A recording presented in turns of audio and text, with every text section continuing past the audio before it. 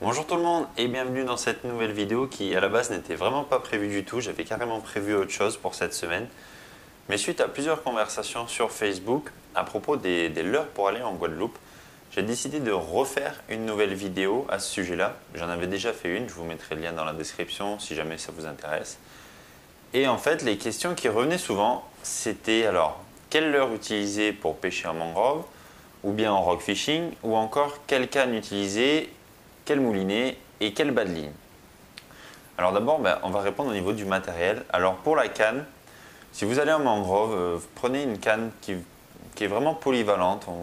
en général, euh, euh, ouais, 10, 10-30, ça peut le faire pour la mangrove, pour animer des, des chattes de 9 cm à peu près, pour pouvoir animer correctement des leurres. Et après, pour ceux qui sont un petit peu plus rock fishing, moi je conseillerais une 3-10 assez nerveuse parce que on peut toujours tomber sur des bonnes fiches ou des carangues qui sont vraiment des poissons vraiment puissants. Et à ce moment-là, il faut pouvoir les brider euh, correctement. Donc, ce qui va nous amener directement sur euh, le moulinet. Donc, je préconiserais minimum un moulinet taille 2500 pour avoir un frein suffisamment puissant et une bonne réserve de fil parce que, je le redis, on ne sait jamais sur quoi on va tomber. On peut très bien faire euh, des petits poissons de 5, 10, 15 cm comme d'un seul coup, on peut tomber sur une grosse carangue de 5 kg euh, ou, un brochet de 10 et il faut pouvoir le brider correctement. Et ensuite, pour le bas de ligne, fluorocarbone, vraiment pas d'acier parce que euh, vous allez voir votre nombre de touches vraiment diminuer ou alors ça va être que du barracuda. Et c'est pas vraiment ce qu'on recherche le plus. Donc fluorocarbone, 25-30 livres. Après, certains montent euh, plus haut. Ça dépend quel poisson vous recherchez. Après, effectivement, si vous cherchez le, gros tarpon ou les gros brochets, là, il faudra monter jusqu'à 80, 100 livres et plus, voir si vous cherchez les, poissons records. Donc ensuite, on va passer bah, tout de suite aux leurres. Donc, pour les leurres de surface, le stick shan, voilà, c'est le coloris euh, pour la rivière. Mais il faudra le coloris que je vous mets juste ici. C'est vraiment une tuerie. Quand, euh, quand j'étais dans les magasins de les magasins de pêche en tant que vendeur, on le vendait par 3 ou 4. C'est vraiment une tuerie. Son seul défaut, c'est vraiment la, peinture qui s'en va très très vite à force à cause bah, des, dents des poissons ou alors des combats. Donc avec ça, vous allez pouvoir prendre euh, tarpon, snook, carang, barracuda. C'est vraiment un leurre très polyvalent et qui nage très très bien. Ensuite, un leurre que j'affectionnais particulièrement là-bas, c'est le Spook Junior de chez Edon. Donc ici en coloris euh, transparent et jaune. Donc celui-là d'ailleurs, il va falloir que je change les tripes pour pouvoir m'en resservir la saison prochaine.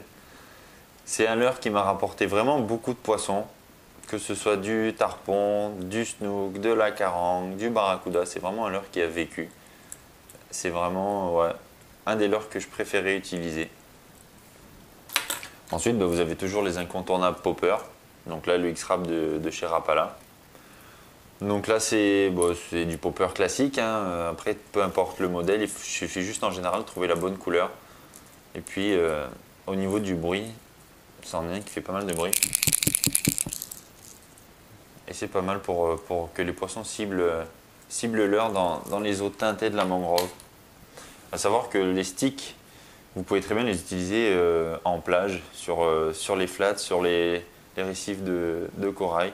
Ça pourra déclencher l'attaque d'une carangue éventuellement, ou bien d'un tarpon qui traîne par là, d'un pagre. Voilà. Bon, on va tout de suite passer au au poisson nageur.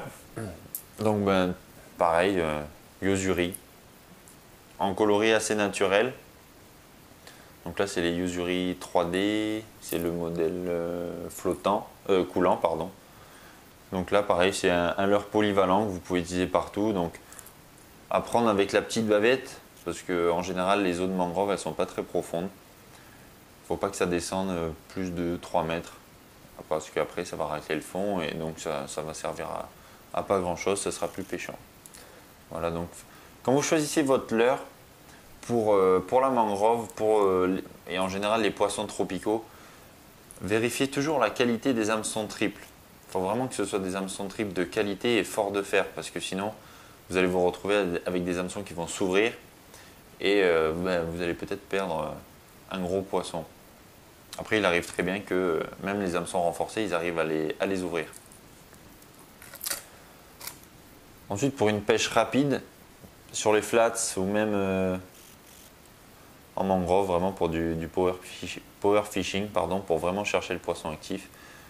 J'aimais bien utiliser ce petit pencil et comme vous le voyez là, il y a l'hameçon euh, qui, est, tordu, qui est bien tordu.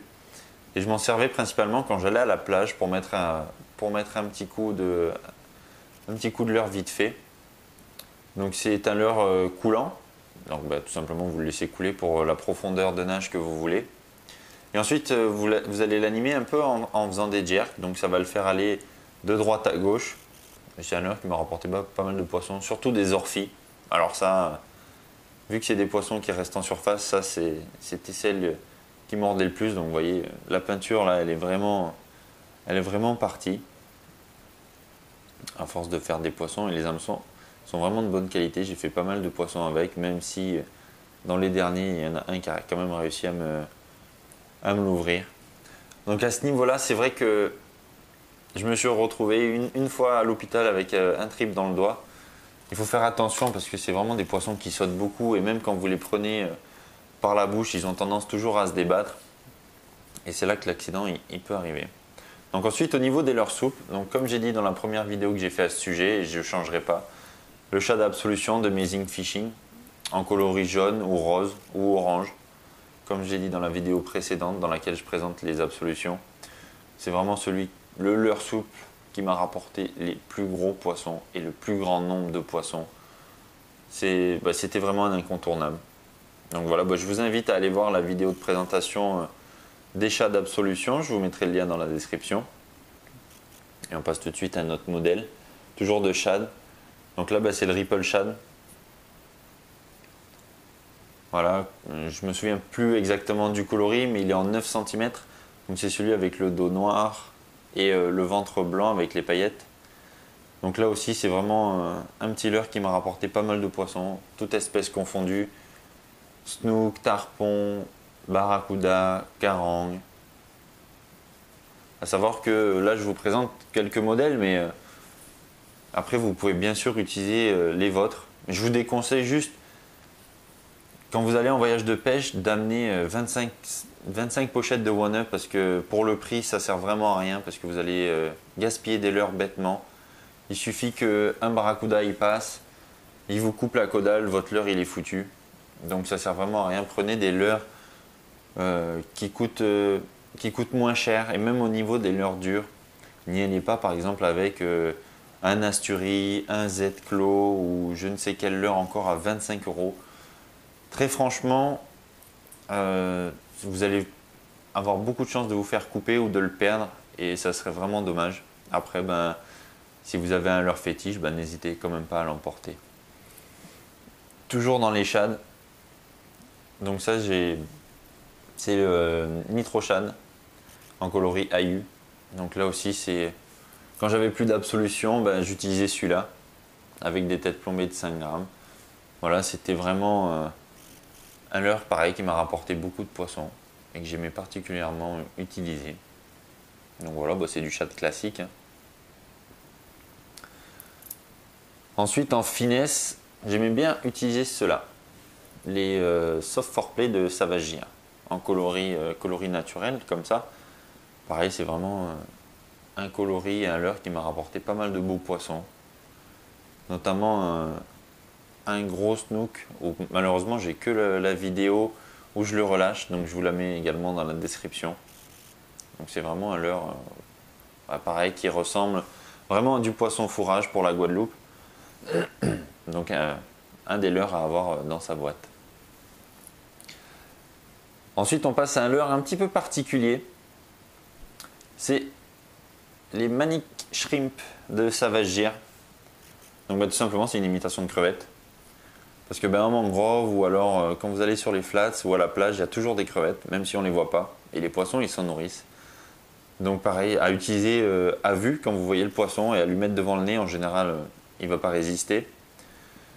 C'est pareil, c'est encore un leurre qui m'a rapporté énormément de poissons de toute espèce.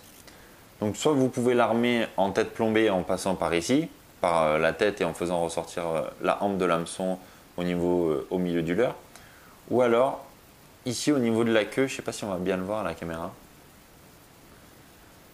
La queue, en fait, vous avez un rond exprès pour passer votre, votre tête plombée, donc c'est pas vraiment facile à, armer.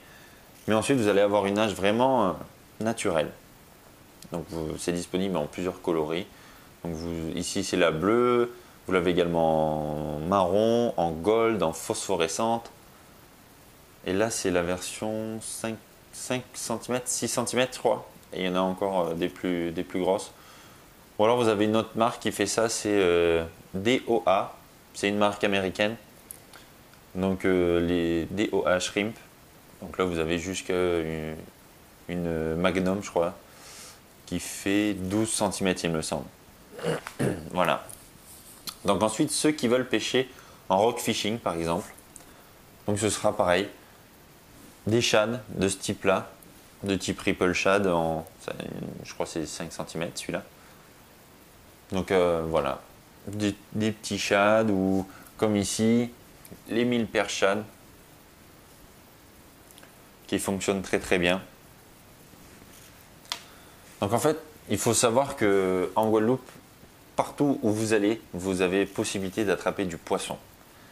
Que vous alliez à la plage, que vous alliez en comment dire en balade sur les ports de pêche, partout partout, je dis bien partout, vous pouvez attraper du poisson. Il suffit juste de vous munir de votre canne à pêche et de 3 ou 4 leurres.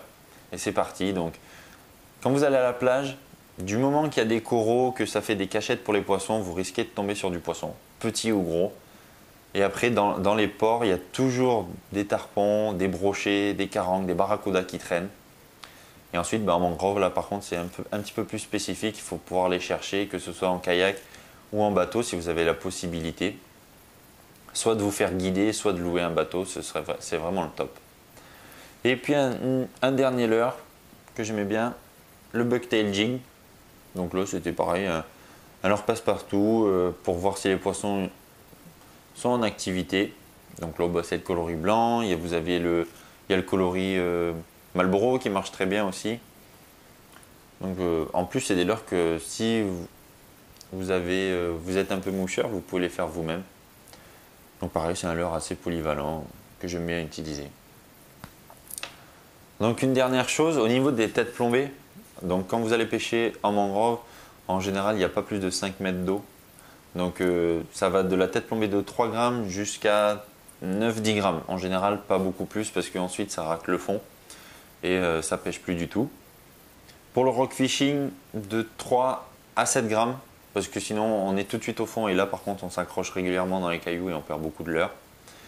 Mais veillez toujours à avoir des hameçons forts de fer pour pouvoir vraiment euh, brider votre poisson, pouvoir le contrer parce que c'est vraiment des poissons puissants, c'est des poissons de mer et ils sont même ils sont beaucoup plus puissants que les poissons de mer en France et euh, c'est vraiment vraiment top à pêcher donc euh, que vous soyez en light ou un petit peu plus enfin monter un peu plus gros, je vous conseille d'avoir euh, une tresse euh, au moins en 20 livres. Parce que bah, faut pouvoir brider le poisson et faut pouvoir euh, encaisser ses rushs. Donc faites attention à avoir un, bon compromis au niveau de la légèreté et de la puissance de votre ensemble. Voilà, donc c'est à peu près tout ce que j'avais à dire. Si vous avez des questions, n'hésitez pas à le mettre dans les commentaires.